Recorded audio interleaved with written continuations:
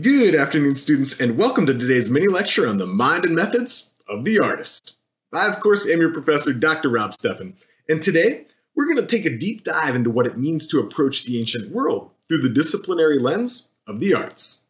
So set up that easel, start chiseling those sculptures, and fire up the kilns. And in doing so, appreciate all the beauty humanity has created as you journey with me to investigate the arts. So, what exactly is an artistic perspective, you might ask? Well, you might think of it as exactly what it sounds like. Artists produce and create art, which then can be interpreted in lieu of their culture, their context, and their intentions. So, part of taking an artistic perspective on the world means understanding the creative and aesthetic values for cultures around the world, from the ancient past to the present day. But an artistic perspective goes far beyond just thinking about aesthetics. That is, it goes beyond what people consider to be pretty or good looking. Indeed, taking an artistic perspective involves understanding the meaning and messages behind an artist's given work. To embrace the artistic perspective, we have to ask why a creation was made, what it's trying to convey, who it was meant for, and how it goes about accomplishing its goal. In many ways, it's kind of sort of like interpreting a complex written text or a spoken message. You have to think about the artist, the audience, and the context to really understand what's going on.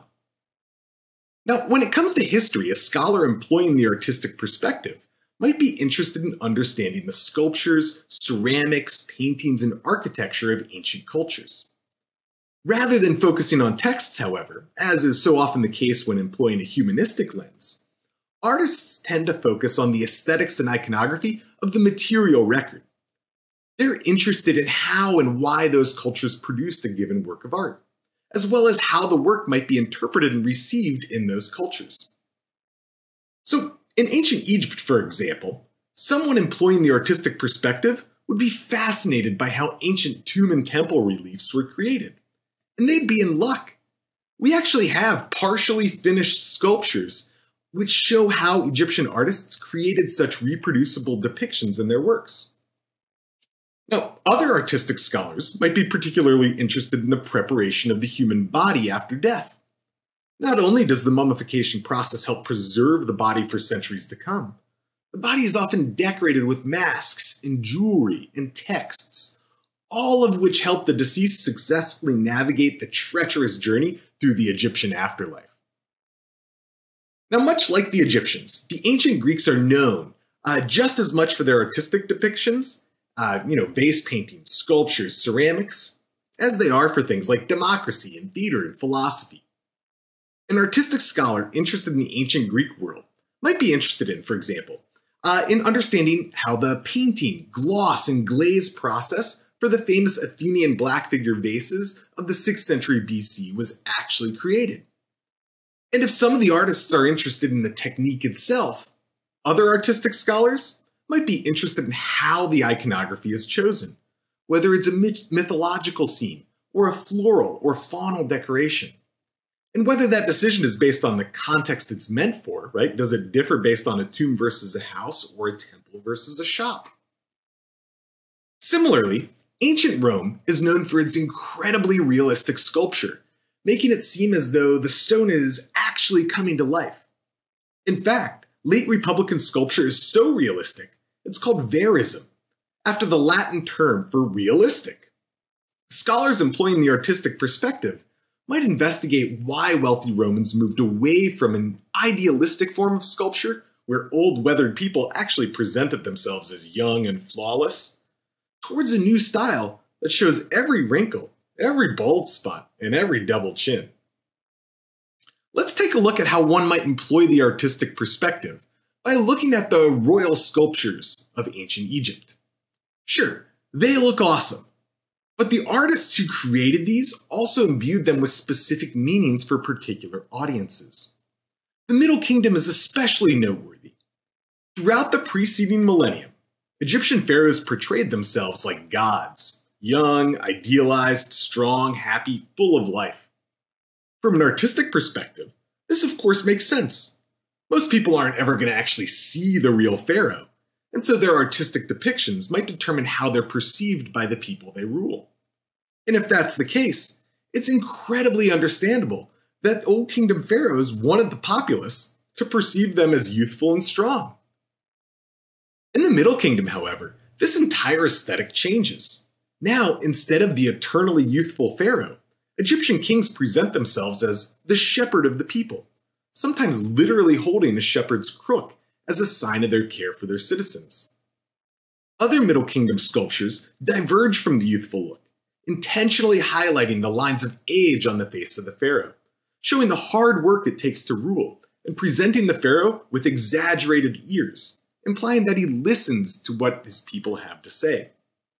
So next time someone says Egyptian sculpture doesn't change, just ask them to compare the statue of Khafre with the statue of Amenemhat III and see what they have to say about that. Let's journey to the world of ancient Rome to take a look at another example of, of this in practice.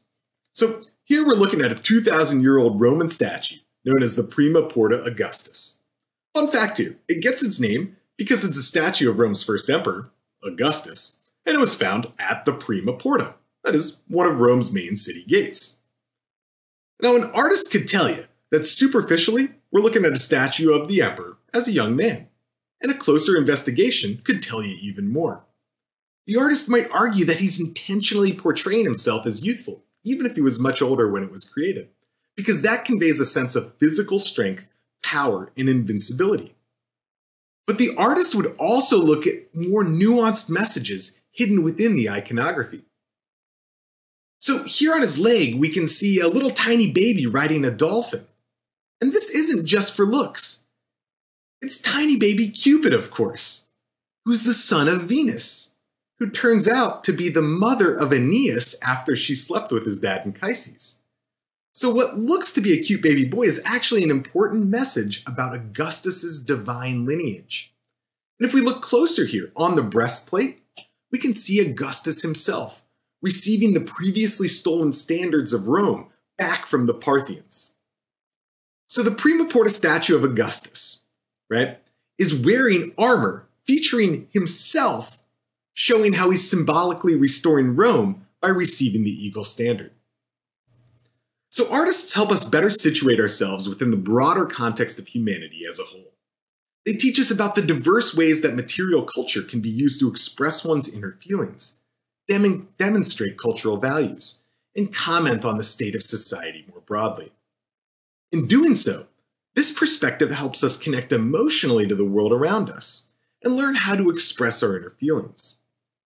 To see uh, things from others' perspectives and reflect on what that means for us individually. In short, artists explore, observe, reflect, practice, produce, and communicate.